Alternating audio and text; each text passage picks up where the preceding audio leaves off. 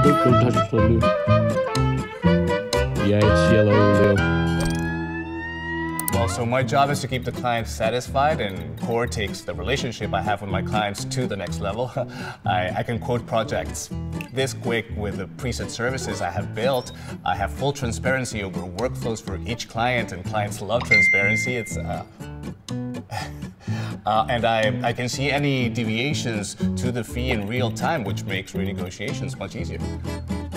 Well, I, I can access mission critical information anywhere and anytime, allowing me to have a clear picture of overall cost, performance, profits. This enables me to better predict upcoming projects and their associated fees and get ahead of possible financial risks. And Oh my god, he's getting off now. I don't feel as if I'm flying blind or guesstimating my decisions, well, which I never did, by the way.